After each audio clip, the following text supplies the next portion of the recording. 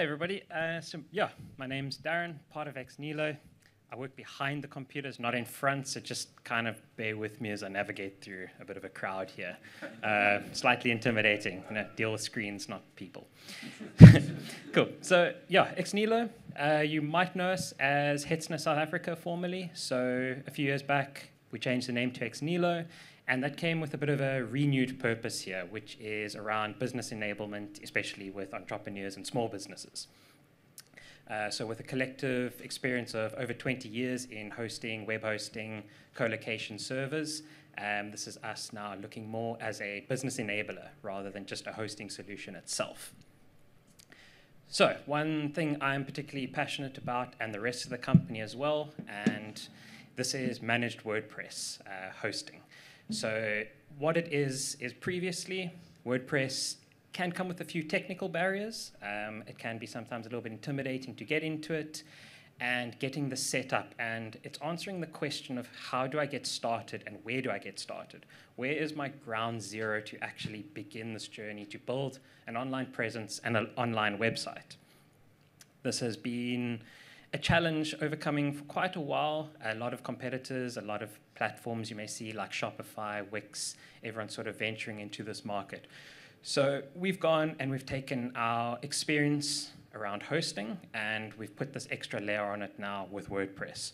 So, you know, focusing on what we're good at, which is hosting. It comes with things like security, the backups, the real, you know, infrastructure behind WordPress and giving you this opportunity to build your WordPress on top of this, but also with a lot of extra features that help create a safer and easy environment to develop it. So, you know, there's things like a staging website. So, take an example you have your live website. Uh, this is what your customers are seeing on a daily basis.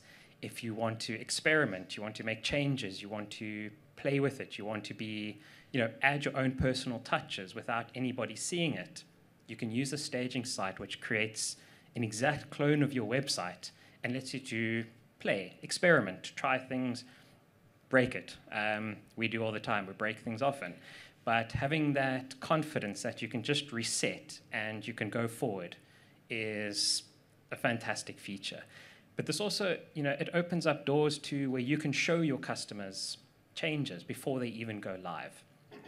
So, but there's other things such as automated backups. Uh, you, when you're building your business, you got to think, what are the things I don't want to be spending time on, but I don't want to worry about it. So automated backups. Everything is there. Everything is safe.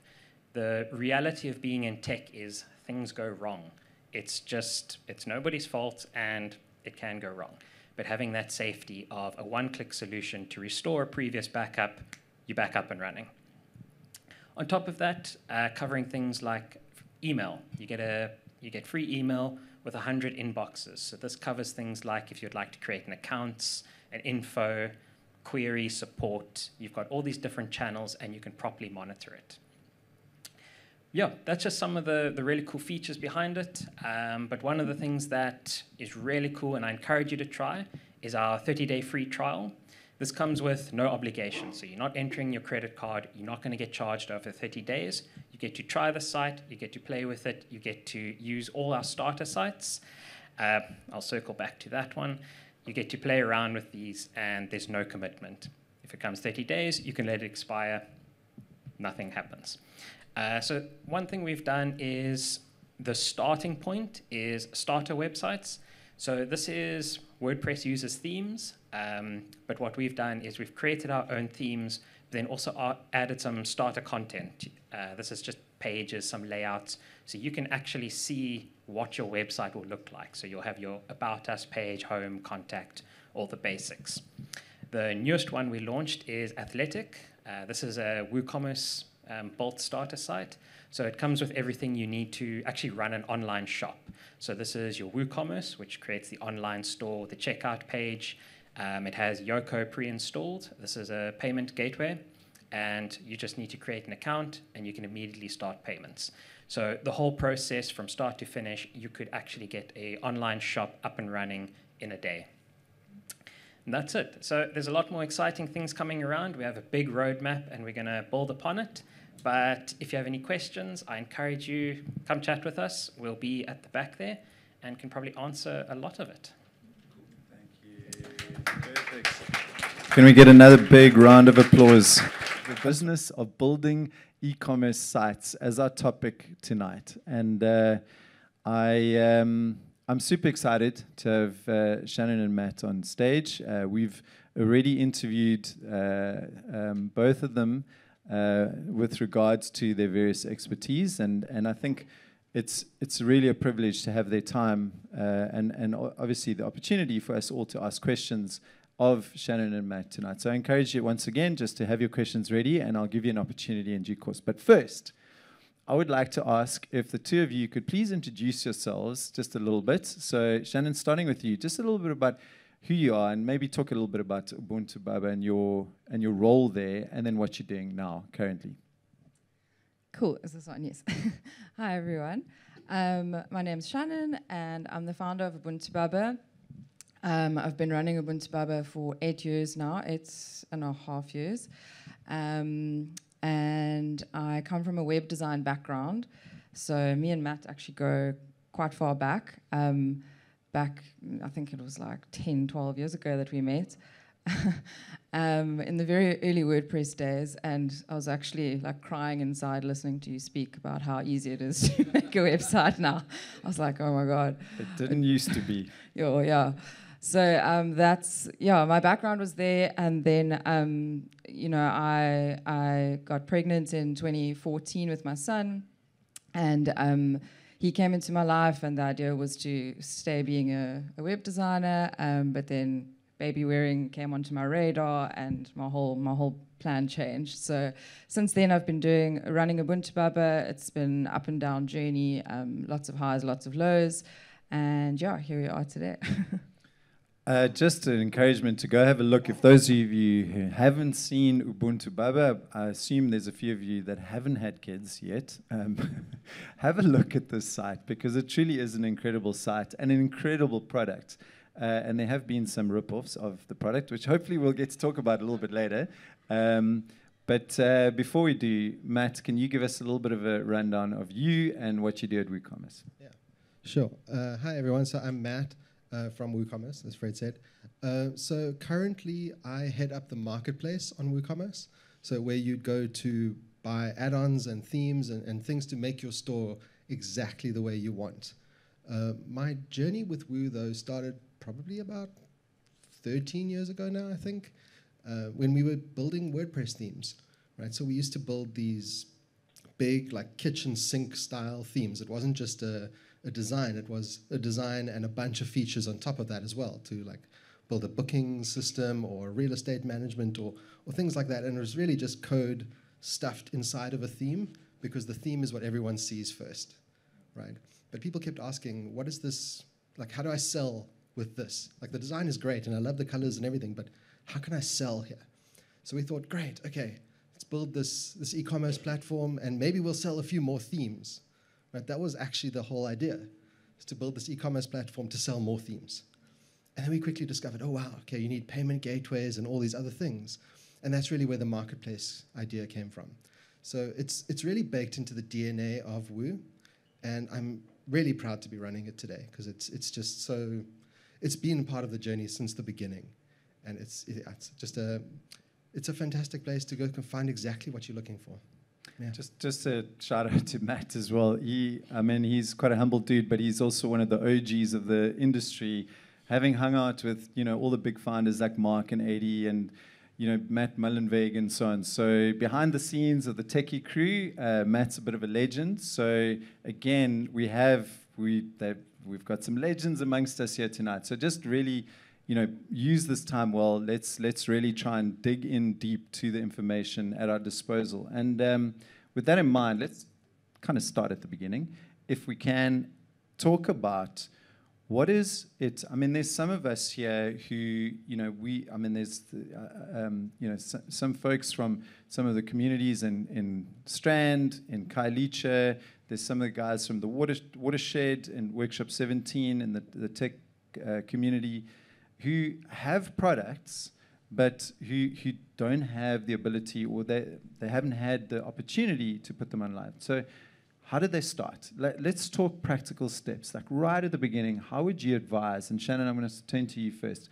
In terms of those first steps, what would you advise somebody who's a baby entrepreneur getting started? How? How? What are the, the what do those first steps look like?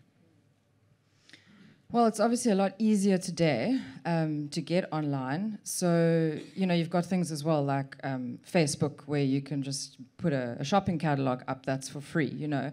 Um, you don't even have to to um, get, get any knowledge about Word, WordPress or web design or anything like that.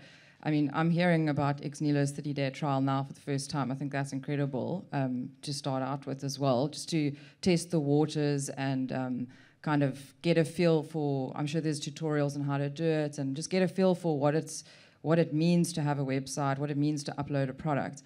Um, you know, back when I started, I remember as well.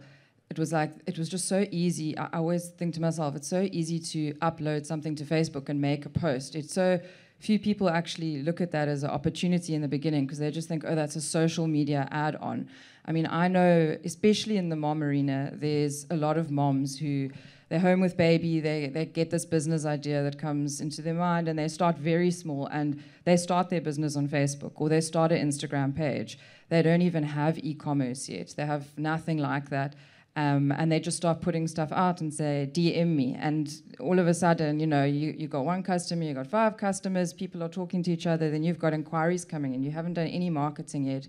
It's just word on the street, you know, which is like the best form of marketing. Um, so I think, yeah, it's really, it's uh, also like people think e-commerce and online is different to, to any other business, but it's, it's really, e-commerce is just taking a real business online. So you got to think like from the beginning, this is a real business um, getting it online is like a step, but you're going to do all the same things as someone that's launching a, a, straight business that they don't plan to take online. You know, who's your customer? Um, what problem are you solving? How can you get in front of that customer even in real life before you even take it online? Um, yeah, and I think I just think social media today, TikTok, all these things that's available are free, and it's a great place to start. Matt, exactly. You hit the nail on the head there. Like it's it's a business first and it's an e-commerce platform and all of the other things like second right? So i mean a good example for you. So my wife and i run like a sensory play classes and workshops and things like that for for toddlers right? So six months to about two years. And we do it at, at home in Tokai and you know we, we put up a website and all that because i enjoy doing that. So i just decided we'll, we'll do that but i didn't say oh this is going to be the thing that's driving this business and you go into you know you talk to people and network and you can put up google ads and all that sort of thing but people say one thing. They say Tokai too far right? So even even plumstead people said Tokai too far okay?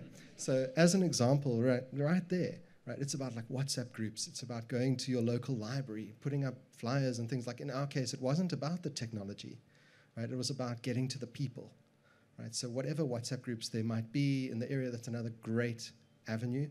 But it's know your product, know your customer, really at the outset. That's the main thing.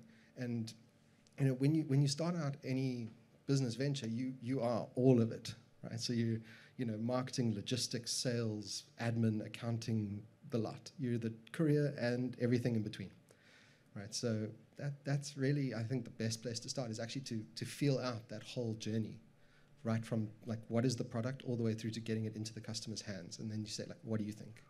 And then you get that feedback and the whole loop kind of continues.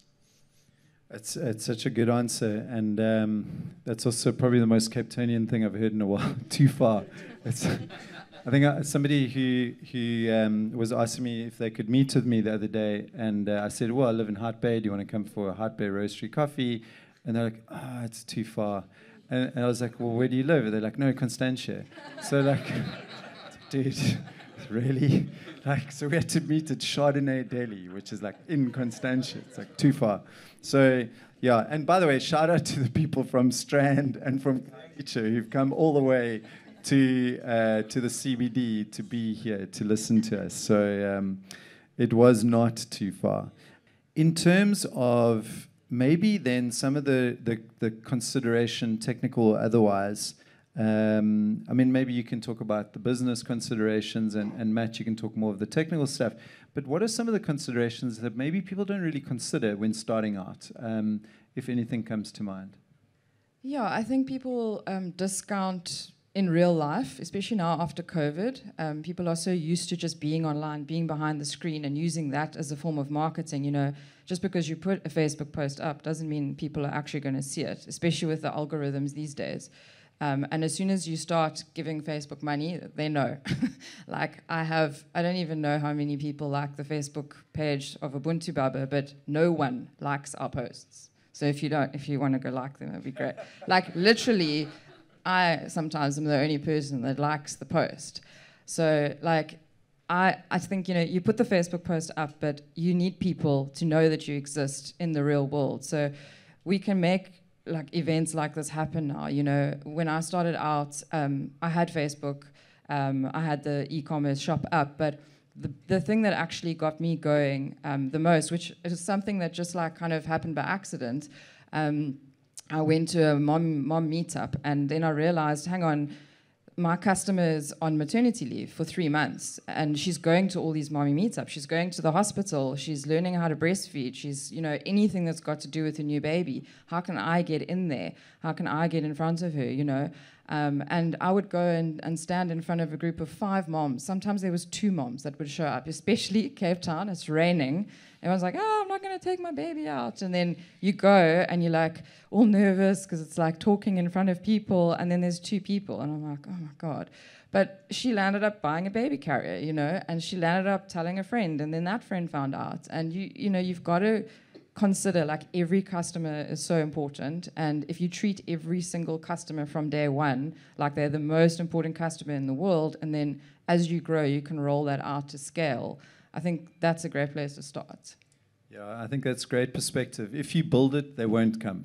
Um, i mean it's it's just about you, you've just got to have such a thick skin in the beginning and just every step of the way just keep grinding keep going forward because they all can't right? All those different steps you know, they add up over over time, and then obviously you you start to build up your audience, you know.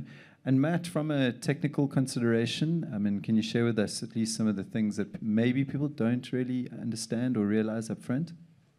Sure. Uh, so this has kind of been noodling on my mind a little bit. Um, when you begin, right, there's so much ambition. Like, this thing is going to work, it's amazing, and I'm going to do the whole funnel. I'm going to build everything I need. And I'm going to just buy it and I'm going to hire the team and we're going to do the whole thing. Right? And we're going to build this amazing website because we will be Facebook. Right? but that's that's the that's the long distant dis, like future. Right? That's not for today. Right? So South Africans have this incredible entrepreneurial hustle.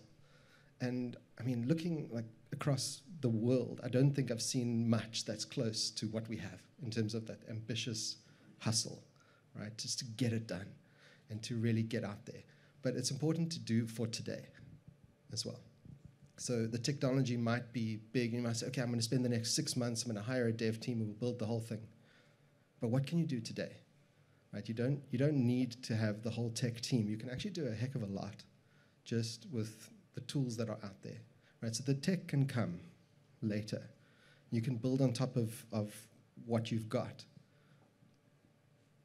It's such a good point. I think it, and and the way I understand that is it's almost like an entrepreneurial curse in a way, like particularly the design focused of amongst us, where we want it to be perfect, you know. And what's that saying? If you're not embarrassed by your launch, you've launched too late, or you something like that. Late, like, yeah. So so it's like, you know what I mean? Like you you want to you want to just get it out there, and and I mean you will be a little bit embarrassed about it because you can sit for m- months and years even trying to tweak and get it perfect but then how much time have you wasted? And then when you launch it people they don't come right?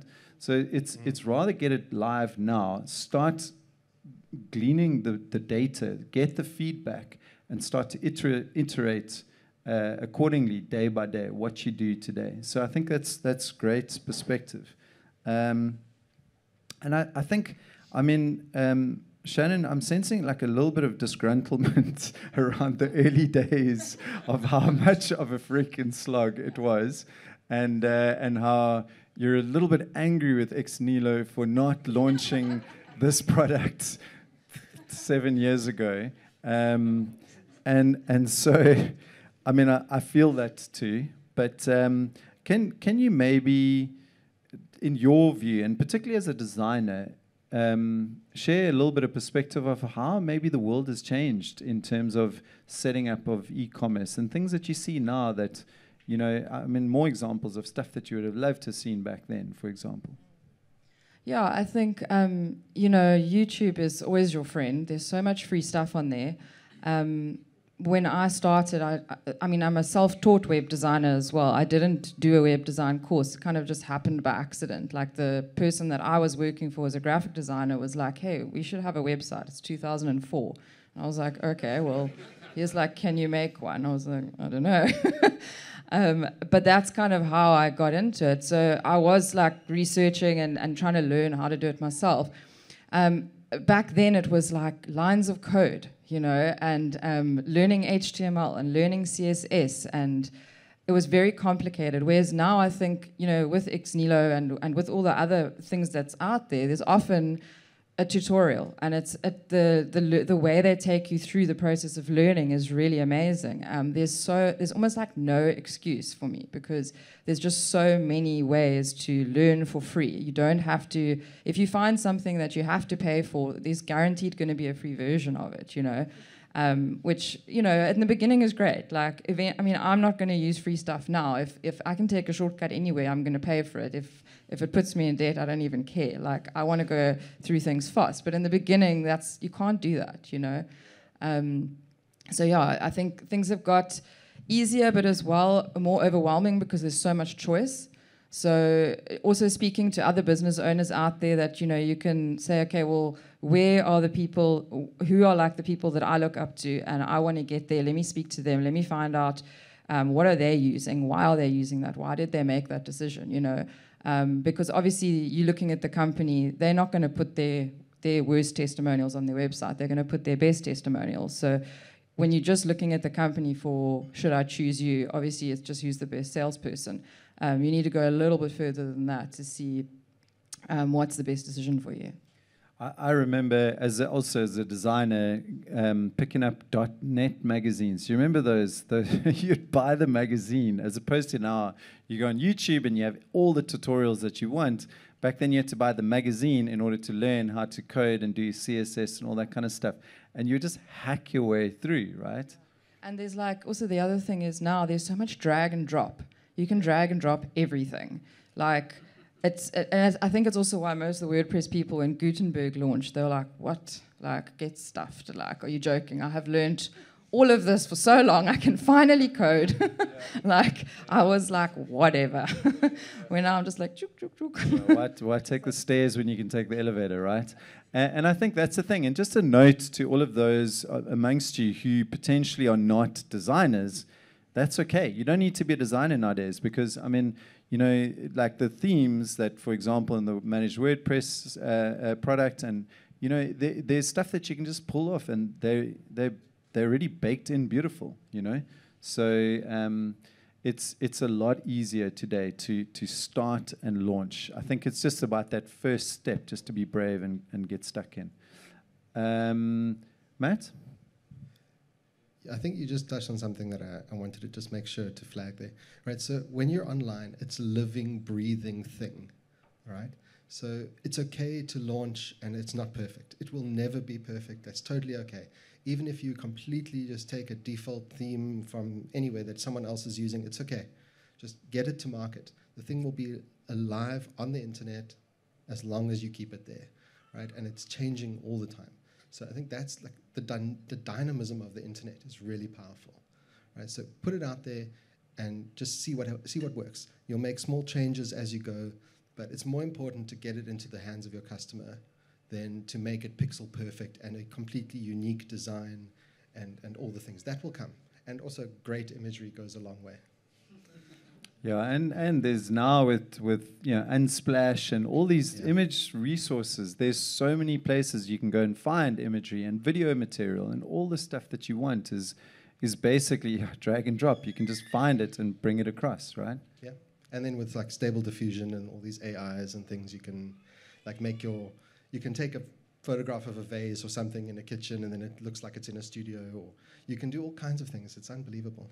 Okay, so we're going to touch upon AI shortly, and we don't want to terrify people just yet, but there is certainly a whole new world coming up, which is ostensibly going to make things even more interesting, you know? So somebody tweeted yesterday something like, we were wrong. AI, uh, the Web3 is not crypto, it's AI, right? And I think they're kind of actually right about that. So I, I want to know just before we get into some of the practical stuff, and we're going to open it up for questions. So uh, in a few moments, I'm going to ask whoever wants to ask a question just put their hand up. Um, but um, I mean, there's so many businesses that have started in garages. I mean, Yuppiechef is a great one. They're two friends of ours. They've been uh, part of the heavy chef community for some time. I mean, they started in a garage, literally the garage opposite mine, um, which is quite interesting, A- and and literally in a freaking garage, you know, next to the washing machine and the tumble dryer, and they had a little, you know, lean-to desk, and um, and you know, starting from from scratch. I, I want to know from from you, what businesses do you admire? You know, hope I mean hopefully South African businesses, but not necessarily confined to to South Africa. Shannon. Um, one of my favorites online is Faithful to Nature. I really like Faithful to Nature. Um, I love, you know, the way they um, personalize their emails as well. Uh, I shop there and I've got like my cart, and then like they will send me discounts, special discounts, just on those items, just for one day. You know, things like that, and they time it well. Their messaging is so nice. They um, they're very focused on education like educating the customers. So I've learned things from just being a customer that I would never have learned if I didn't shop online with them. And I think that's the thing about e-commerce as well is that it's the the brands probably that I enjoy the most are the ones that provide high education on you know the the topic that or the industry that they're in.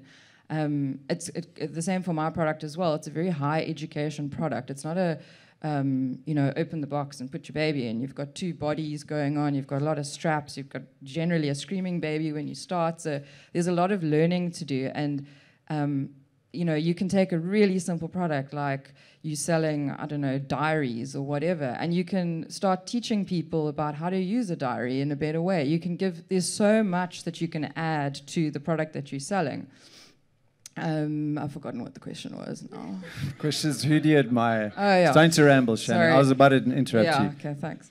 Um, yeah, so I think um, that's a, a nice, one of my favorite, Faithful to Nature, um, because overall they do all the things well, you know. So, um, and I don't actually do a lot of online shopping. I've got probably like my five places that I go to, and that's that, you know. Too. Yeah. Yeah. once you find your people, you stick with them. Yeah. yeah.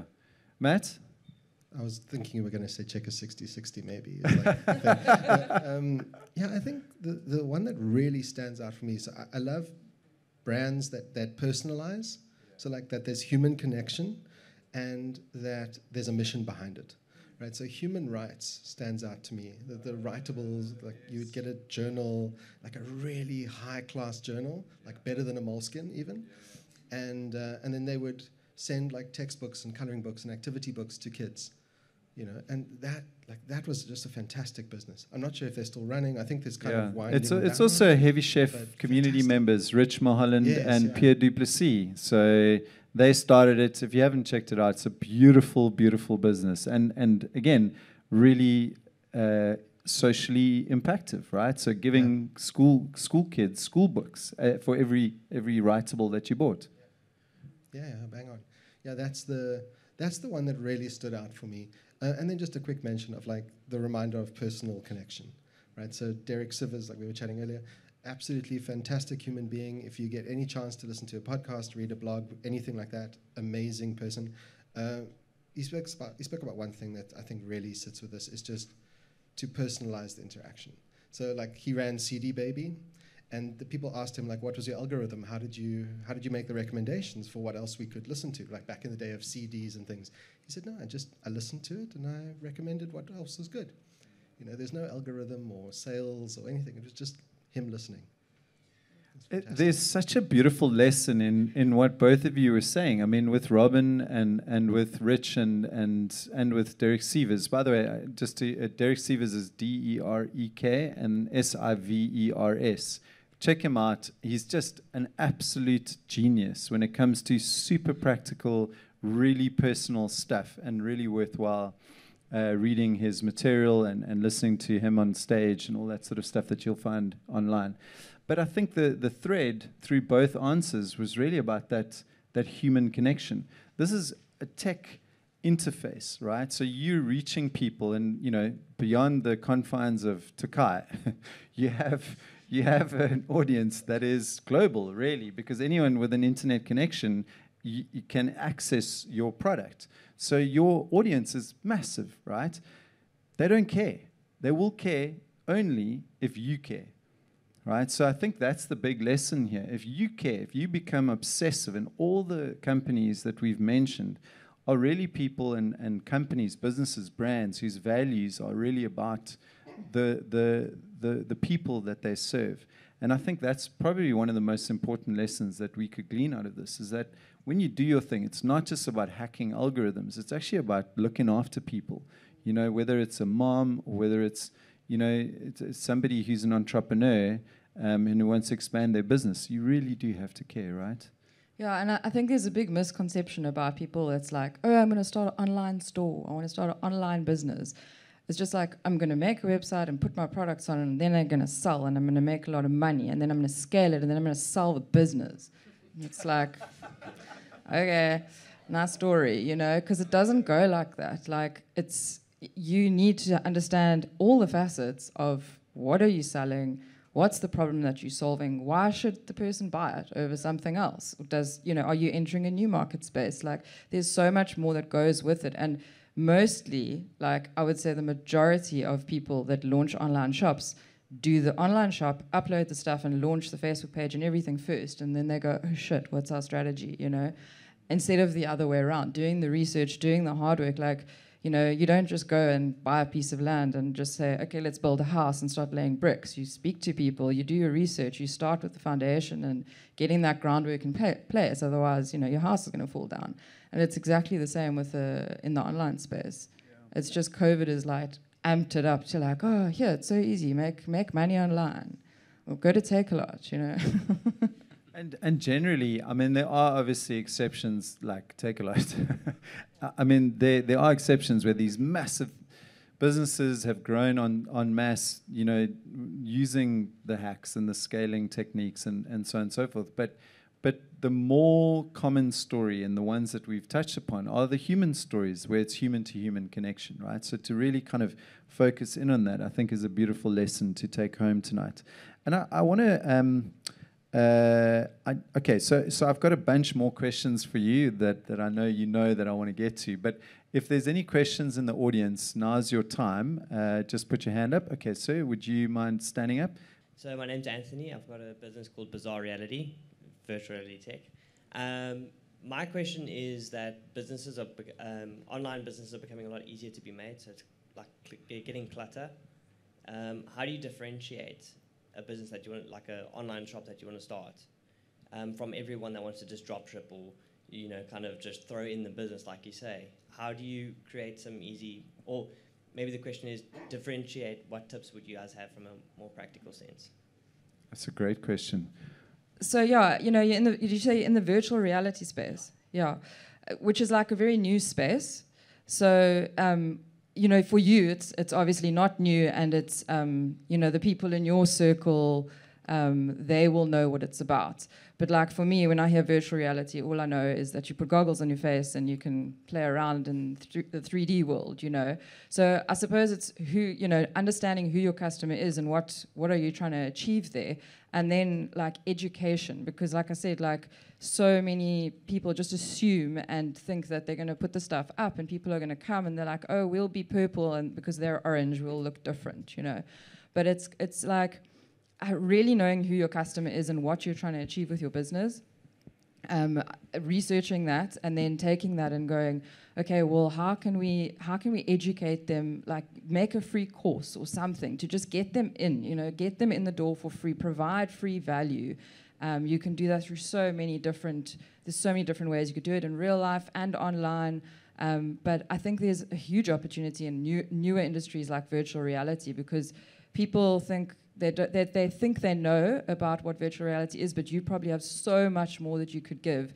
And there's so many categories you could break it down into and just do like micro lessons on small things and get consistent about that. And you know, if you plan um, rolling that information out, if you sit down for two weeks and plan a whole year in one go, then it's quick because you know, okay, what am I putting out? What, are, how many posts am I going to do about this? And you just continuously, you know, recycling that over the um, the time frame that you've you've planned it. Um, you'll get questions, you'll get more engagement, and then you can also learn back from your audience what what are they interested in, and you can play around with that. So yeah. Firstly, amazing business name, love it. Uh, I've got two things. So the first one to echo exactly what Shannon was saying as well about education. It's also about educating the business right? So there's what virtual reality is, then there's what everyone else thinks it is, and then there's the, the thing in between, right? Which is what your customers are coming to, how they're experiencing your product, right? So user testing, customer research, getting it in their hands, and then looking for those micro interactions. So like, how do they do this one thing, right? So in, in like my context, it would be something like, where are they looking for the button? Not where is it, but where are they looking, right? So like those micro pieces of it, like you, can, you know, you'll see customer researchers taking notes furiously because they're looking at every little tiny thing that a person's doing. And that is so powerful, especially in an unknown or like relatively new industry, right? It's how people are actually interacting with it. Like they think they know what VR is, but then how they interact with it is watch what they do, not what they say, right? That's where the real like education comes in. And you can then just feed it back to them and say, oh, you did this. You don't know that you took this action, but we're going to feed it back to you because 100 people did the same thing. Right? So we can then sort of learn from the customers, and you're learning at scale, right, at what everyone else is doing. Um, and then how to differentiate. So your question was like, how do you, how do you differentiate between your business and like everyone else that's going online, right? The, the thing that stuck in my mind was just to be unexpected and do the unexpected thing right? So in today's world, like, would you expect a response, like a personal response, from the CEO to an email? Probably not. You know, if you get an email from, like, you sign up for a service and then you get an email from the CEO, it's just an automated script in the background, right? But you know that it's an automated thing. You know it's not a personal email. What if it was personal? What if you actually took the time just to send that email and send like 2,000 emails in a day? that would be super unexpected. And you can even say, like, this is not a robot, this is actually me, please respond. Right? People won't believe you, but those that do, that, that's super unexpected in today's world. And like, like we were saying now about like the human connection. Right? Everyone else is just trying to drop ship things from Alibaba. But like be, be unexpected. Right? Uh, I, can, I just love what he said, what Matt said about um, uh, educating the business. Like I think that's like so important. Like getting feedback from customers and and that that that that thought process of differentiating, that's going to give so much. Like you, you, oh, you never hear that. It's a great tip. And I think, I mean, there's a great book called Good to Great. If anyone hasn't read that, check it out. And one of the points that really stuck out for me in that book, where Jim Collins went through all the research of 100 years of businesses and he was asking what are the you know, like the big points of distinction that you know put your business apart and all of the CEOs of the successful companies that they interviewed were like there wasn't one there was there was tiny little iterative changes these micro turns of the dial that made the changes over time and I think that speaks to your point about educating yourself and just being observant and really obsessing about your customer behavior and being able to learn from that, you know. Um, Okay, so we had another question over here. If we can have the mic, please. Uh, um, my name is Yongisipo Tim Kulu. Um, uh, I don't have a business, but I do come Good. from a theater company based in Strand. Yes. So my question is, um, we come from a different environment, You see, so people, uh, more people are less privileged. You see, so I'd like to ask, what motivation do you have for the, for the people who do not have the capital in order to start a business because you might have the money but you lack the motivation in order to, to start the business. So what motivation can you give to those people who lack um, um, the capital in order to start those businesses? Thank you. Okay, so it's Thank you. just to make sure I'm understanding. Um, do you want to know um, lack the capital, lack the money, or lack the motivation? Because those are two different. Yes, it's Yeah. motivation and also the, the, the capital. Yes. So, okay, so capital wise, I would say, um, you know, social media. Like, don't be afraid of social media. Get live. Like, go live on social media. People want to, like, that documentary style. Like, if you don't follow Gary Vee, I don't know if you've heard of Gary Vee. Um, G A R Y and then V E E. Like, look him up. He's, he teaches so much stuff on, on how to just get out there for free. So lack of money for me, like I said, social media. There's just so many ways, and go and follow the people that are you look up to, and see what they're doing, and just copy them, literally. Um, lack of, um, well, not lack of motivation, like finding motivation, especially like I totally understand what you're saying, coming from the backgrounds where it's like there's not that many people around you that can, you know, that it's it's a different vibe. It's like this, like almost like a bit of hopelessness sometimes, especially living in South Africa where you know no one's really got your back it's it's a tough one, and um, you know, I think for me as well, like I've always as a as a teenager, and that I was very shy. I was like not a motivated person. I would never have thought that I'd be sitting here talking with a microphone. Like um, my hands still shake. I still get nervous, you know. But it really is like you have to just start, and you just start before you're ready, and you just just have to have your own back. Like push put yourself out there whether you start with two best friends and you say hey be my audience like i want to try sell you something and tell me what i'm doing wrong tell me where, if i look stupid like and just take it don't take anything personally like it's it's actually a personal growth journey to become an entrepreneur and a business owner it's really all about like how you look after your own mental health um, don't drink don't do drugs flip and waste of money waste of time um, and trust me, people is- that that look like they've got it all are still drinking and, and doing all that stuff. It's very easy to lean on that as an entrepreneur as well and get you know in the wrong crowds and things. Um, so I think it's just looking after yourself and saying, okay, well, there's my vision. That's where I want to be. I'm going to bring it back to here, and just keeping that big vision in mind. So when you have those tough days and you're just like down in the dumps, you're just like, well, this time is going to pass anyway you know, I'm going to be there in 10 years' time. What I do with my time now is what, the, what counts. And it's just really having your own back. Um, if you're going to spend money on something to motivate you, like getting a subscription to, to podcasts, like to be able to listen to podcasts, um, find one good podcast and it will, the algorithm will recommend like other amazing ones. It's an amazing free way to feel like you're in the room with like incredible humans. I've learned so much from just listening to like Tim Ferriss or Seth Godin and all the big names online. That's you know um, in my like uh, my idols that I follow and like want to learn from. And that's, that's kind of for free. I, I don't know if all podcasts are for free, but there's so much valuable information out there. So you can make those people your friends, even though they're not really your friends. Matt? Yeah, I was just gonna just to tack on it. First of all, the algorithm, right? Love that.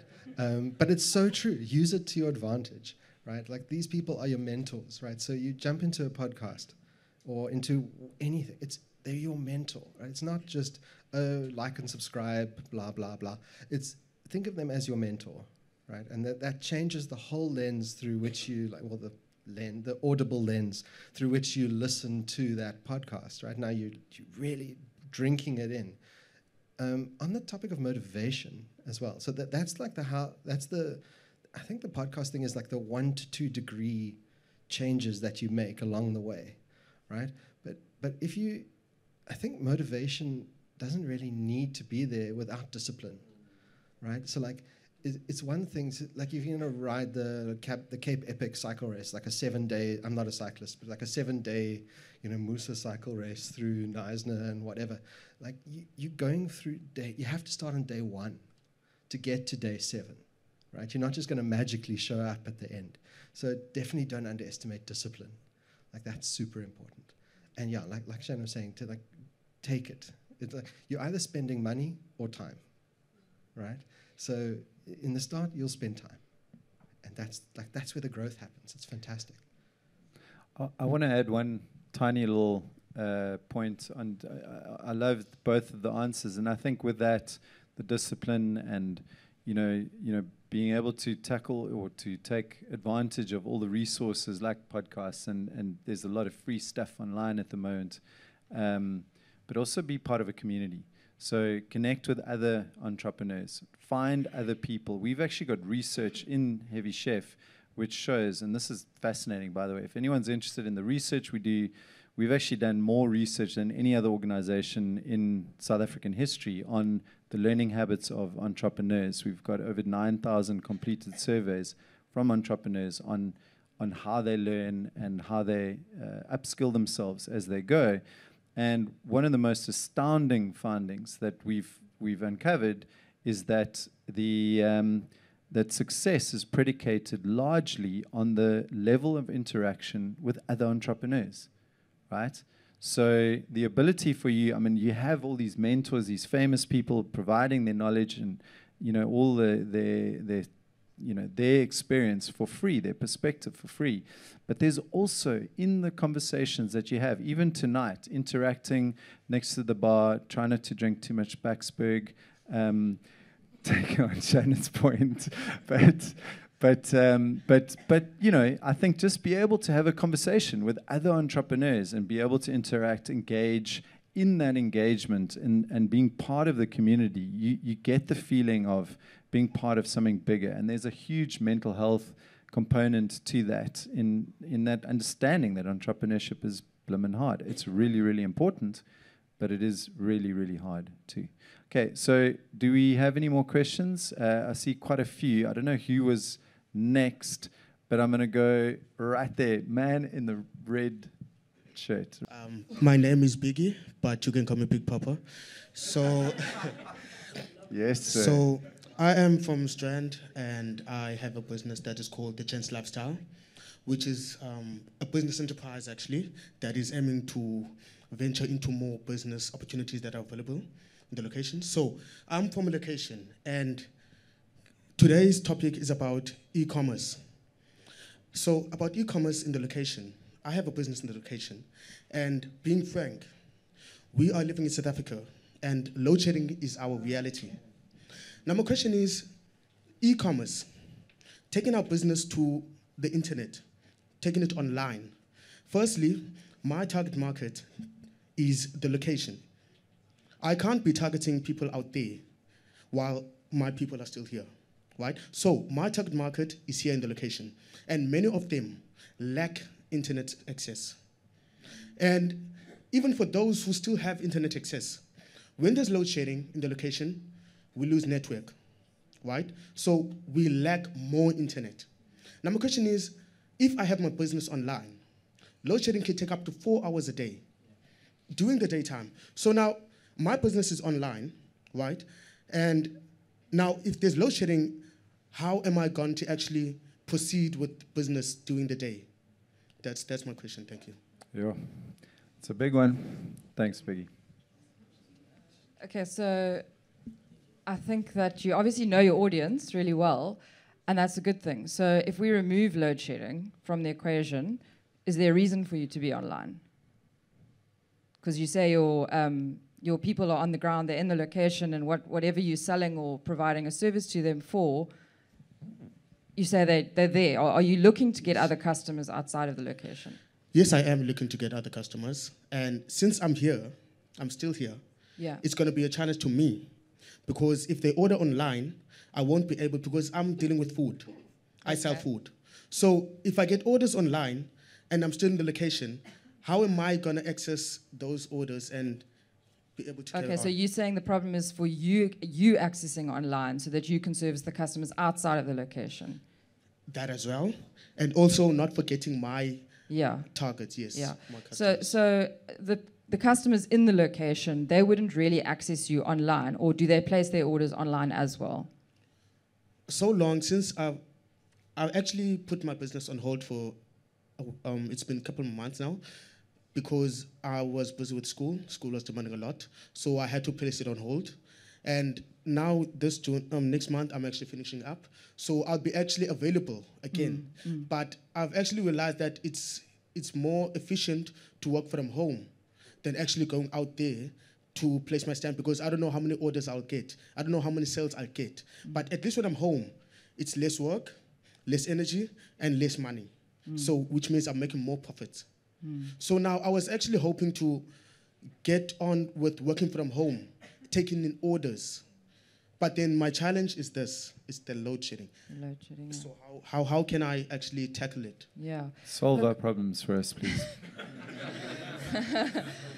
I know. So there's a lot of mom businesses that I know, and you know, load shedding is is also a time thing. So, like for example, I know a mom who she sells herbs and teas and things online, but she doesn't have the capacity to courier every day and service every day and do those things. So she, I don't know what kind of food that you sell or whatever, but just ideas that came to mind is that she has one day that she does her orders, and so that works for her business because it's not fresh food or whatever. So she spoke to her customers and she said, like, would you mind this? Would you mind that? In the interim, while I've still got a baby for the next three years, you know, um, and and it works for them, you know. So you've got a lot of problems to solve there, but you know, focusing on one and maybe going to if you talk about the people in the location, you want to work from home, say to them like talk to them and say, well, this is my problem. I want to work from home and I want to serve you as, as my customers. How can we make this work? And have a conversation about it. The fact for you, like if you're trying to reach other customers online, so these people are shopping online, but now you can't see your orders because you don't have electricity. That's a problem, obviously. Um, the only thing is like you know you're gonna have to buy like batteries or inverters, but if there's no signal, then what do you do? You know, so it, it, it's a big tricky it's a it's a tricky one. Like you maybe need to find a place close by. Like I don't know, Workshop 17 is obviously not accessible, but maybe it's something to think about. Maybe it's maybe there's other people there with the problem, and you guys can all get together and say, hey, maybe we need a Workshop 17 or whatever it is. You know, maybe someone can set something up for us, but you know, we live in this country and we have to like we have to solve our own problems because there's no government that's going to actually fix it for us, you know. And that's the thing why entrepreneurs exist is because we the ones that have to get together together and say, okay, well now there's 20 of us. It's not just me. We all want this. So how can we get someone to come and be a part of this, you know? And maybe we can give them some free food or this or that in exchange. Mm-hmm. Like you just gotta, you know, you just gotta hustle. Really, it's it's hard. Matt? Yeah, just to, to add to that, so, I mean, no option is off the table at this point, right? So, really th- think creative about like what could you do differently. So, if your lead time is like, let's say you get the order in the morning and the expectation is that it's there in the afternoon, right? Maybe increase that. So, say like, I'll if you if you place your order today, you'll get it tomorrow, right? Something like that. So it allows you time you know, while you're trying to figure out how do I get connection, that can that can be an idea to allow you to have a bit more time to actually place that order without the stress. Yeah, there's there's I think there are some some uh, very unique challenges in South Africa that it's very difficult for us to be able to resolve all of them in a discussion like this. But I do know, for example, that I mean uh, one example is that Siyabonga and Ayanda are they're starting a, a workspace, you know, in in uh, in Khayelitsha where four roomed used to be, you know, and I mean that's the sort of thing, that's the sort of creative solutions. It's kind of like Workshop 17, but but in Khayelitsha, you know, and I think those are the sort of things that are going to arise out of these systemic problems. You know, that's the one thing about the entrepreneurial community is where there are challenges, there's also opportunities and that's how we work. It's it's kind of like an evolutionary process, you know. Um, so I wanted to, in a sense, um, maybe maybe evolve the question a little bit more into and staying with the theme. What are some some hacks or some tips that you could provide in the early days in terms of either setting up the business, uh, you know, more cost effectively, or um, scaling the business in a way that doesn't require like huge amounts of capital uh, right from the outset? Um, I think one thing that is uh, has wor- worked well for us, um, and it kind of depends on your product, but collaborating with other businesses that are not in competition with you, but maybe are serving the same group of people. Um, so for for me, like I sell a baby carrier. I'm not going to collaborate with another baby carrier company because obviously we're in competition. But like, okay, so I'm serving moms from um, from her pregnant days to when when the baby's two years old, let's say. There's so many different businesses in that category that I can collaborate with for free and, and get in contact with them and say, hey, let's do a giveaway uh, or let's run a competition. Let's let's have a market day. Let's let's open our our garage up and um, have a day together where people can come try on the products for free and test out your baby cream and you know try out this baby swing and get together. And because especially if they're more established than you they've already got the customers trust you know they can easily get those people there. And if you're providing something for free or you can even say well we'll give away five baby carriers you guys just rock up and we'll do a, a demo with your product you know um, and and then they're bringing the audience. You you haven't done much, but it's it's going to be a cool event, you know. And you can maybe say free tea, free muffins, or whatever it is, you know, specific to your audience. What is, how how does your audience want to enjoy their Saturday or whatever day they're going to come and spend with you? So collaborations are, I think, I think a good way to a good tip to start with. Yeah, and I think I, I, would concur in the collaboration thing, just in terms of brand partnerships, also community partnerships. You know, getting together in community. I mean, it's one of the things, Biggie, like for you, even in terms of the people within your community, who can you co- collaborate with? You know, how can you create little markets and pop up stores and, you know, things where, I mean, Biggie has, I'm told, the best burger in the world. I don't know if that's true. I still haven't tasted it yet, but I'm certainly going to come out and taste it at some point in the near future. Um, but yeah, you know, when you have different people providing different products and different skills, then I think those are the sorts of things that you can have conversations, even tonight, you know, to talk to the people in the room. How can we collaborate? How can we partner with each other? How can we support each other in terms of, of business? And by the way, Heavy Chef, I mean, our business is predicated on partnerships, you know, starting small. We bring on board partnerships who are aligned with our vision and purpose. And once you've defined who you targeting and what value you bring, suddenly those partnerships start to they reveal themselves. They become fairly obvious. You know, if you're in a baby category, all of a sudden, and you're providing a lot of value to the moms, you know, the, the partnerships start to become more apparent once you've identified, you know, those those benefits that you provide. Um, I saw a couple of other hands pop up. Okay, we've got a, a hand over there. Hi, hi, I'm Eleanor, and I'm a SEO consultant, so search engine optimization. And yes, I'm French. Not from Durbanville. Okay.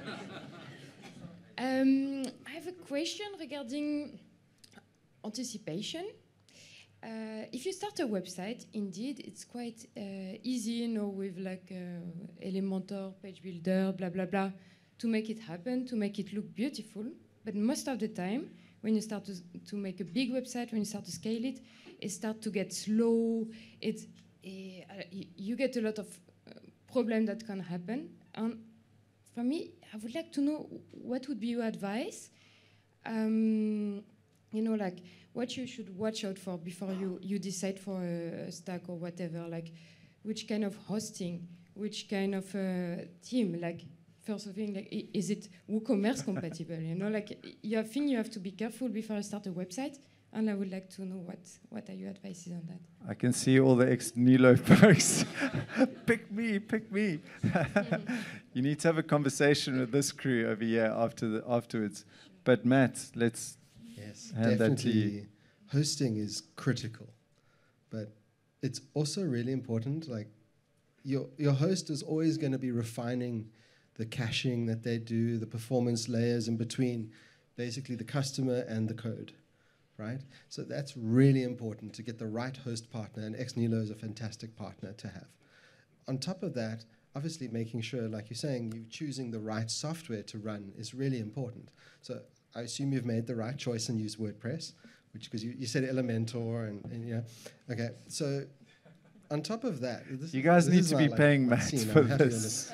But so really, there's I'm going to go off record. There's no excuse for bad code, right? And bad code will always slow down your site. It doesn't matter how much caching you've got in front of that. Like bad code is going to load at some point for some customer. They're going to miss the cache and all of a sudden slow, right? So really important to to be considered about the code choice. Obviously, don't push the pixels around, you know, at the expense of launching. You know, rather put something out there that's a little bit slow, and then optimize it later. That's fine. But everyone, every tool that you're using in that stack is working to optimize their product, right? And they're hopefully working within all the other products as well to make sure that everything is kind of aware of each other. And you know, WordPress is an interesting space in that all the code kind of sits together. So it all needs to talk well with each other and work really well together. So you know, everyone is doing that, right? Elementor's doing that. I would hope. Uh, WordPress is definitely doing that, and your hosting provider in the background is doing that as well. So okay, maybe some like quick like quick tips on that stuff as well. Audit the plugins that you have. Right, that's really important. If you're not using it, delete it. Right, even if if you've deactivated it, delete it. Like unless it's custom code that you don't have a backup for, rather make a backup first and then delete it. But that that's part of it, right? The code is sitting there. It's gonna load at some point, and it's gonna slow things down, right? Um, I could I could go on, but yeah, there's a lot to consider there. I think every layer of that is really considered, but don't hold back from launching at the expense of something being slow. You can always optimize it later. Yeah, and again, I mean, okay, this is starting to sound a bit of an advertorial for you, for you guys, but I think having a good support team.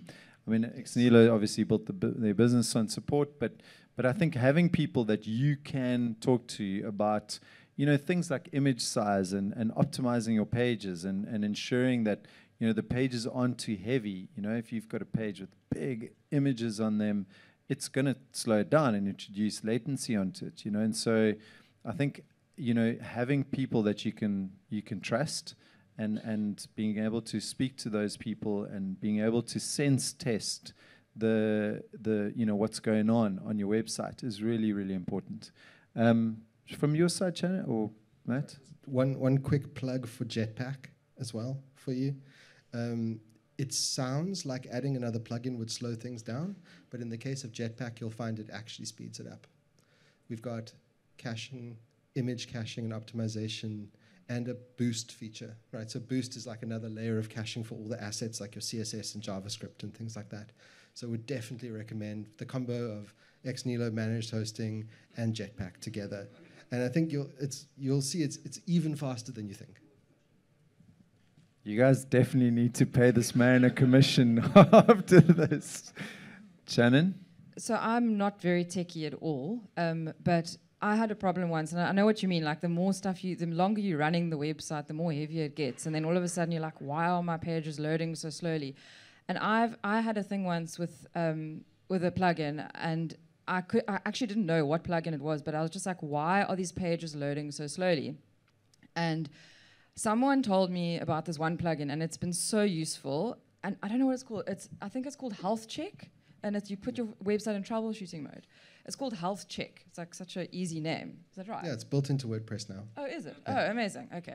So, and it's you put your website in troubleshoot mode, and then you can. It's live to everyone, but for you as the logged in user, you can switch off. You can switch themes, which is the first thing. So you see, okay, now let me check my website. Is it loading as slowly or not? Um, generally, it's a plugin conflict, and then you can switch on and off your plugins one at a time and see which one it is. And it was one that I thought, no way, it can't be that one. And it was because something silly like I didn't have auto updates enabled or something. And then I updated it because I was like, oh, why is it not telling me? Oh, it was like I hadn't actually, they had emailed me a patch version of it or something. I don't know.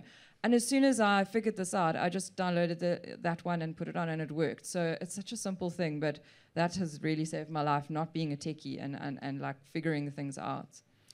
Those of you who are feeling a little bit intimidated, perhaps by all the, the jargon and the terms and the technical uh, explanations, I think just a note that it, this stuff, once you're in it, and if you really are serious about e commerce and getting into this sort of business and getting online, first of all, you learn as you go.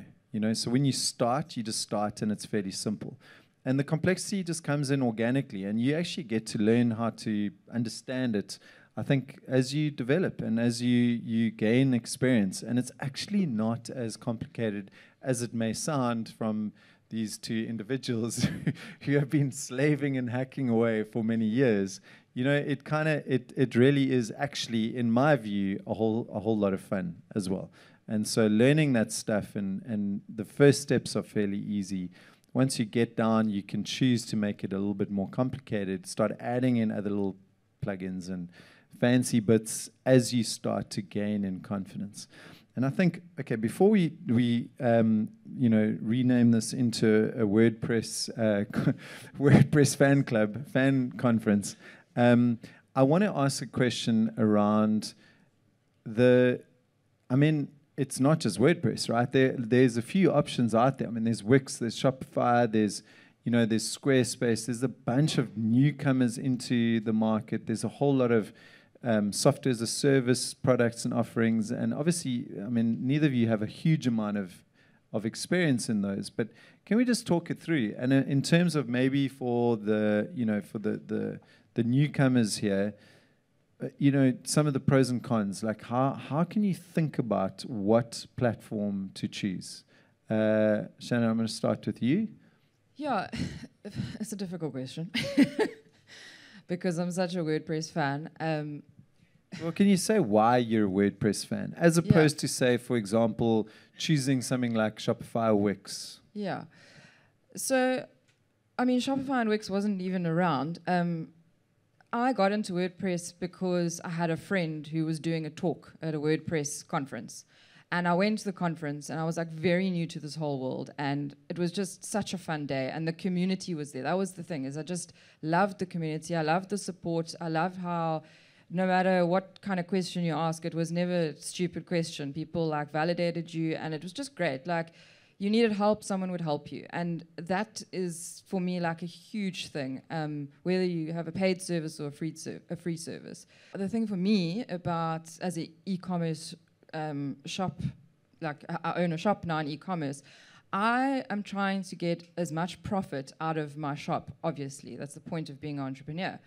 And no matter how hard you work, you never you never seem to get enough. You, you never seem to get ahead. You know, SARS takes this and this one takes that, and then you need this and then you need that. So it's a continuous game, you know. But it's like, do you really want your your you know, if there's stuff out there where you don't have to pay a monthly fee to use it, like why wouldn't you rather choose that? So that for me as an entrepreneur is like if I'm reliant on you and you can just change your price whenever you want to, I'm bound to you. My profit is bound to you. Where if I can get myself to a point where my selling platform, I know it's going to be this much every year just to renew the plugin, or the plugin's free and I'm going to get support, you know, and I can add on paid value adds if I want to, but I don't want to be limited by, you know, if you're going to do uh, 50 sales a month, it's free. But if you're going to do 500, we're going to we're going to take commission. Like, no, that's not what I want. You know,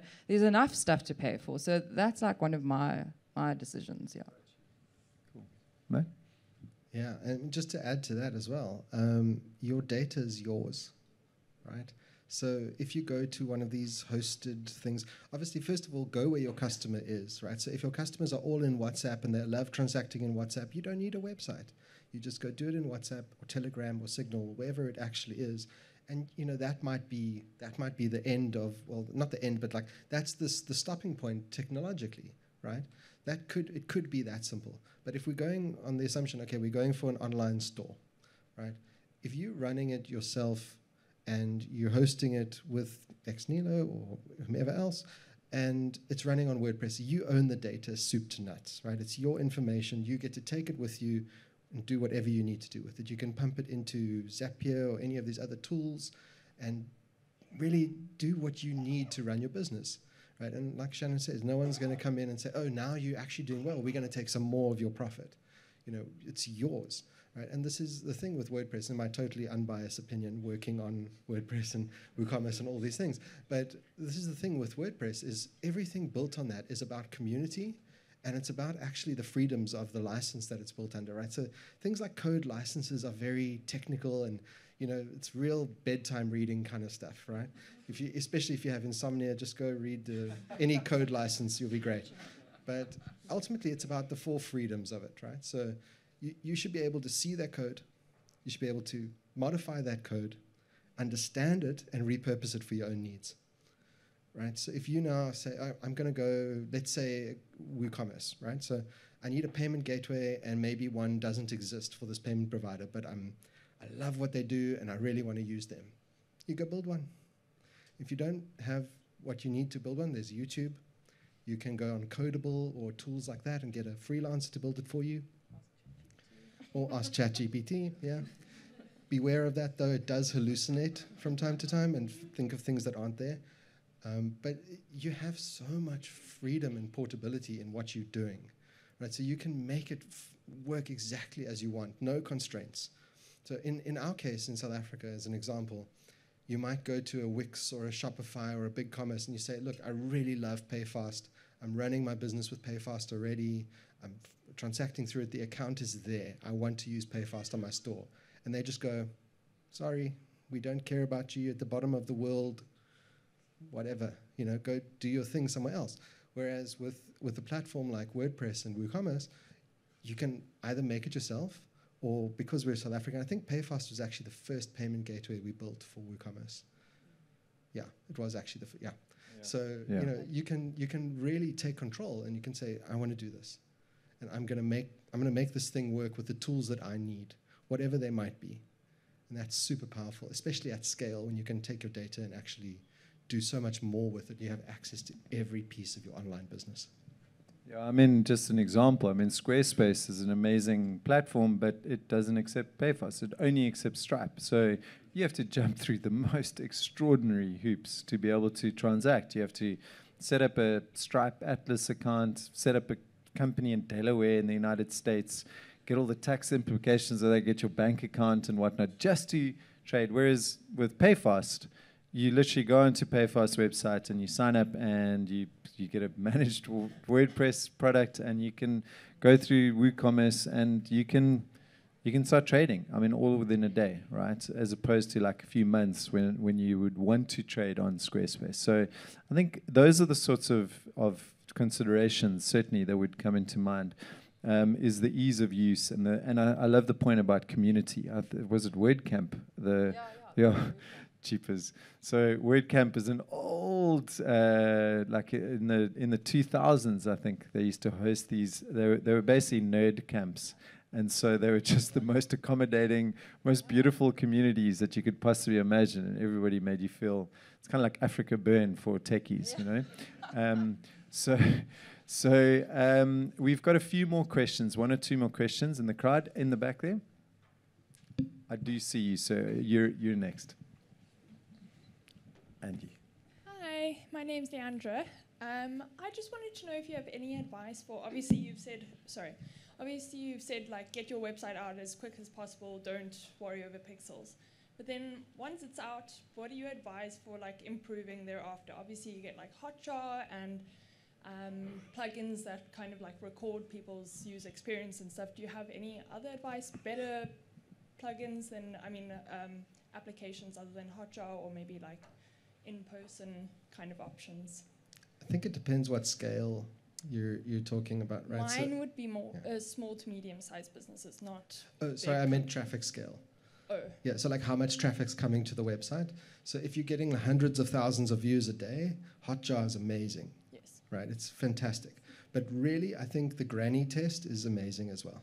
Okay. Right, just put it in front of your granny, right, and say like, find like tell me to find like, how do I buy? Let's say the product you're selling socks online, right?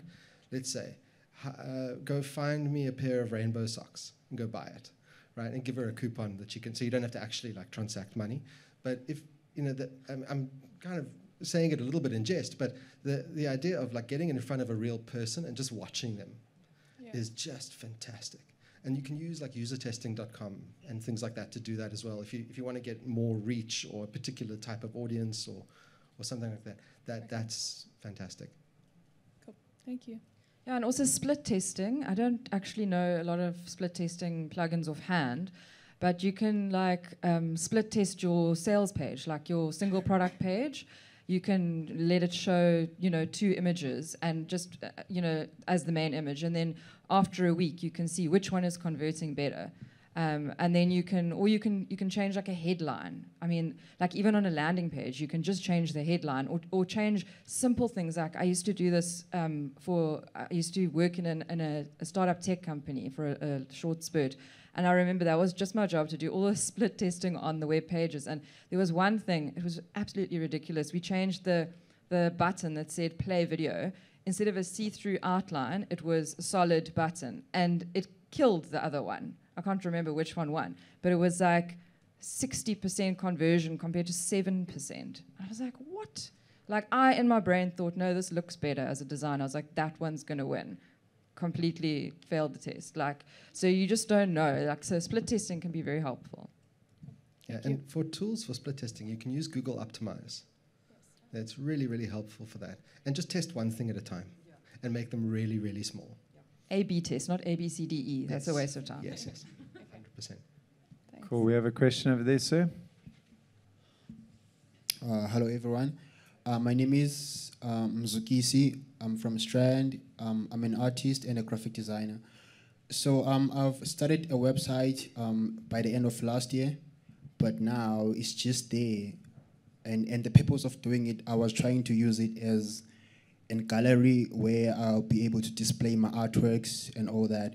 So what I'm struggling to do is to drive traffic to the website.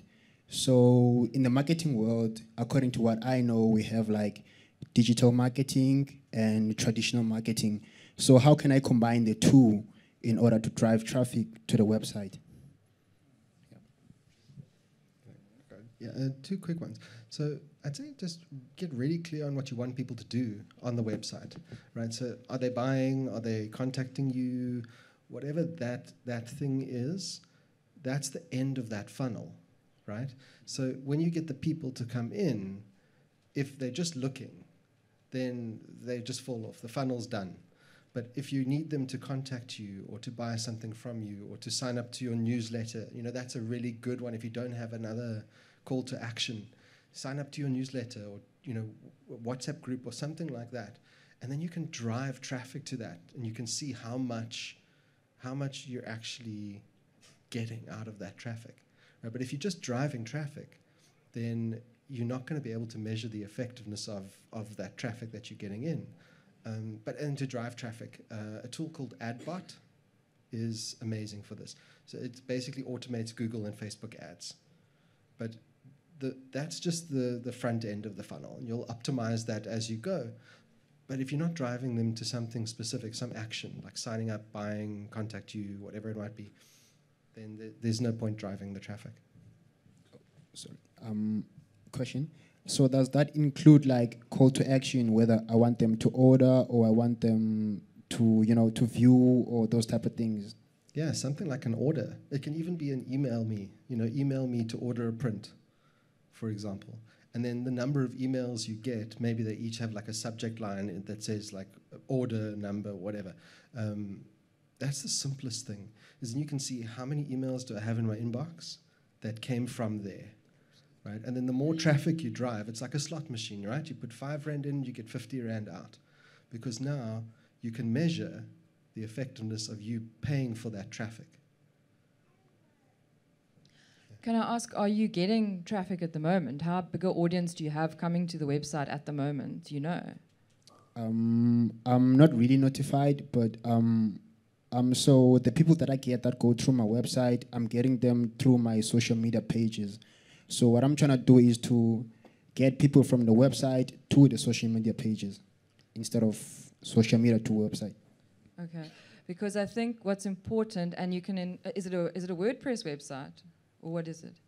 I'm not really sure what it is because someone helped me to develop it. Okay. But yeah. Yeah. So you see, there's a there's a few problems here because you can't actually measure what's happening on your website. So what's important is if you're going to have a website, you need to be able to measure how many people are coming already, because if you don't know that, then then you don't have any any data to work with. So like someone made that website for you, that's great, but you need to have control of your website for in order to understand what you're working with in order to grow. So if you can get to a point of having a simple like I don't know if you're paying hosting fees for that website now or what, but I would assume that you are. So you could make a change. You could, not to just punt the people that's here, but you could get a WordPress website. You could get simple plugin solution, new website that you know how to do on your own, and then plug in a plugin like for free, like Jetpack, and measure how much traffic's coming here. Because with that, then you can understand, right, only 10 people are visiting my website every day. I need more than that. And then you can start doing things to see, okay, now I've got 100 people, but there's, there's still no inquiries coming. So are they the right people or are they the wrong people? Or is it that they're the right people, but they just don't understand how to contact me or how to place an order?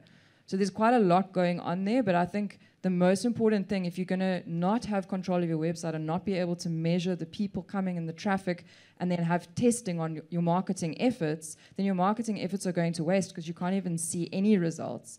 So that would be for me number one is like get full control of your website. If you're already paying hosting, you might as well take control and host somewhere else where you know what's going on. Uh, yes, sir. Introduce yourself and uh, question, please. Uh, my name is Yandisa Makakana. You can call me Gax from Strand. I have a clothing line called um, Look at God, one of the t-shirts I'm wearing. Um, my question is more on the safety and security part of e-commerce or online, right? Um, there's a group of people who don't like to use online space or e-commerce because of they don't want to be hacked or be scammed. Such people they don't even want to tap their cards right? And it's our customers. How can we how can we deal or we address or help them to come on board to the online space? Thank you. Yeah, trust. That's the yo, we are so behind in that space here in this in South Africa.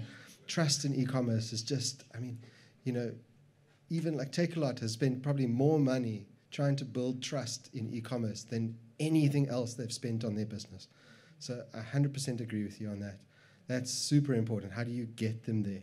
Um, for you, though, so with the security side of things, this is a bit of a skeptical view, but it works. Okay, it's not a matter of if you get hacked; it's a matter of when. Right?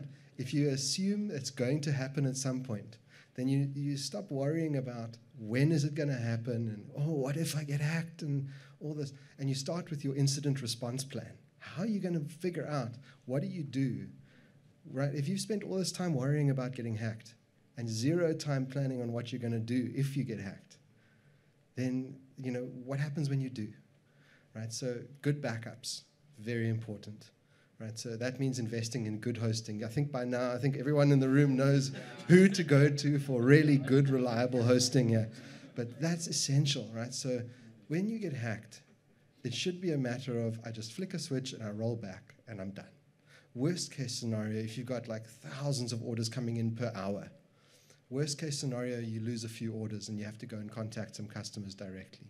Or they will contact you when the shipment doesn't arrive, right? But that is an absolute worst case scenario.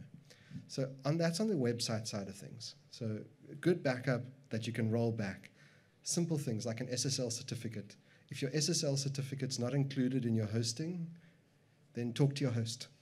Right? The things are free now right? It's, it's, it's a little thing that's you know, the little lock when you browse a website, that little green lock.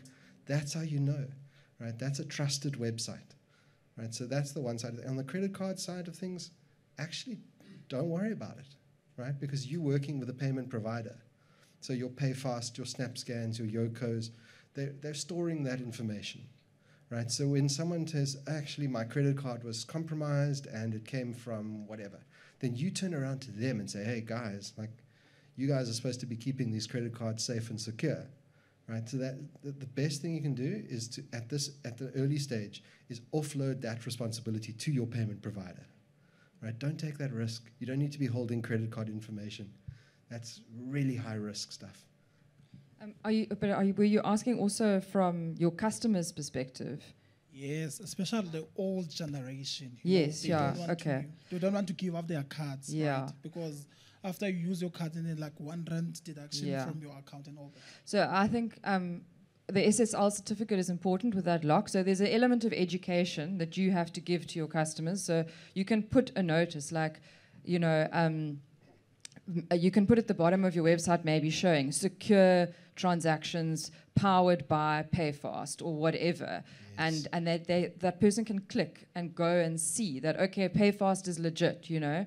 But the other thing which a lot of people forget about and and this was something that happened to me when i started my business is i never had my cell phone number on my website to start because i was like i'm just going to be online take orders via email my life will be simple whatever and then eventually i was like actually uh, people are emailing and saying hey what's your number so then I was like, let me just add it. And then I started getting so much intel from that because we have a lot of grannies and grandpas that buy gifts for their daughters or kids that's having babies.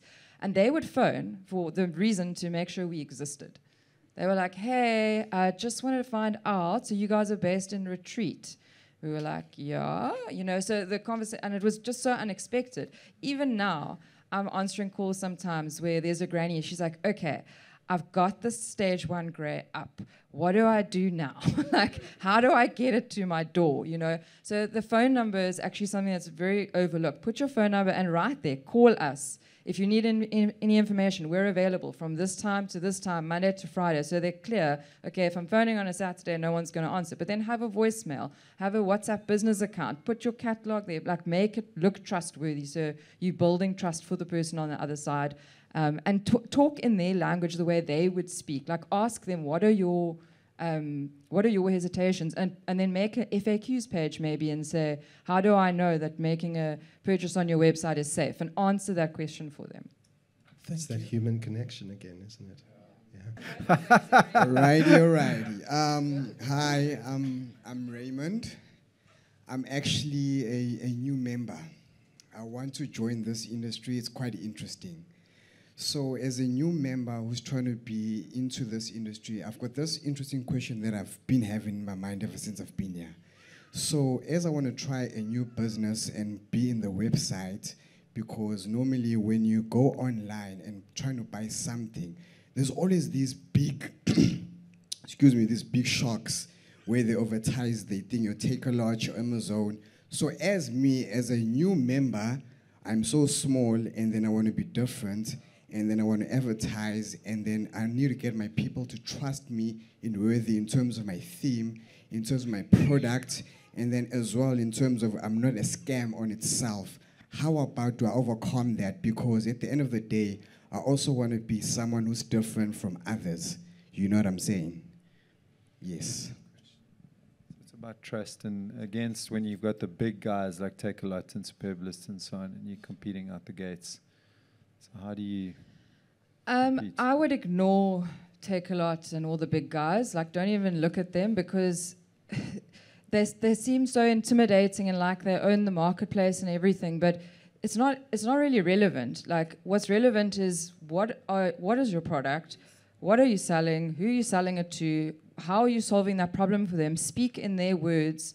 They need to resonate with you. So when they land on your website how do they know, like in the first 10 sec, five seconds, who, like who you are, what you're selling, or why they should choose you? Like make that count, you know, and take them on a journey because, and, and then obviously you need to find them. So it's all good having this beautiful website that speaks their language and resonates with them but where are they online? And you need to get there you know? Like ignore the giants. It's, it's not really relevant. That, that would be my advice. Like people are very intimidated by by Takealot being competition. But are they competition if you know your customer doesn't know you exist yet? The, mo- the most important thing is to make sure your customer, whoever that is, knows you are alive and that you can serve them and solve their problem. Cool. We have one last question. Sorry, bonus question, guys, and then we're going to call it. Hi, everyone. Uh, my name is Bernard, and I'm also interested in e-commerce. So the question that I have for today, for tonight actually, is that um, let's say I'm running an e-commerce business and I'm also working a nine to five or I'm a student. And therefore it's hard for me to like keep track with everything. It's hard for me to focus on both things. So let's say there are customers that have been placing orders And while they were placing orders, I'll be at work at that time. And as soon as they realize that there is no one who is responding to me, they will obviously look for another um, another e-commerce business, which is my competitor, and to get the the service that they were looking for. So how do I balance between the two, between my e-commerce and my nine to five or my education in general? Um, I would say it's about setting expectations.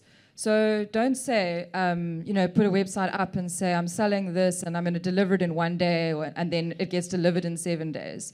Um, you can put autoresponders on your email. So if someone's emailing you or sending you an instant message on Instagram, make sure there's an instant response coming back or an autoresponder on all your emails that say, hey, and just be like, I, am not for this fake it till you make it stuff. Like, be who you are. Like, put an autoresponder that says, Hey, thank you so much for your interest in my business and for your support. I really appreciate it. I'm a student. I'm doing this at this time, and I will only get back to these emails after 5 p.m. Thank you so much for your patience. Here's the most top 10 questions, and here's the answers in the meantime. You know, give them something in the meantime. Um, but just, it is hard. Um, the other thing as well is to, it's very hard to balance those two things, but do things for yourself as well in between to just help your brain a little bit, like three minute meditation that you find online or something like that, just to support yourself personally as well, because it is hard. At some point, there will come a point at which the work needs to get done, right? So it's about choosing. I think it's about choosing to step out of that like comfortable space, right? So the couch is really comfortable. Flicking around YouTube is really comfortable. But could you sacrifice one hour of that comfort for doing the thing that might feel uncomfortable but that's going to get that e-commerce business to the next stage, right? So fulfilling orders, you know, putting putting product into envelopes and making labels and sticking them on, you know, put a podcast on, listen in the background, get some education, and then do the the like hand, just the mindless hand stuff of putting the orders together. Do the work, right? The e-commerce business, everyone thinks e-commerce is just point and click and go, but it, there's a lot of work behind the scenes. I'm getting a flurry of messages from my team, and uh, and also apparently there's a stray hair that is that keeps uh, popping out. So apologies to everybody for that. We'll review in the video in post and hopefully. Uh, sort it out. But there's been a lot of debate amongst the team about the best questions. So um, let's get to the prize quickly and courtesy of uh, and Creed and uh, Baxberg and Xneelo and uh, Payfast and Xero. Um, and and a whole, I mean, all the little goodies and whatnot. We have a prize with over two thousand rand. The uh, the best question of the night is Mzukizi Butuma. Um, well played, sir. There you go.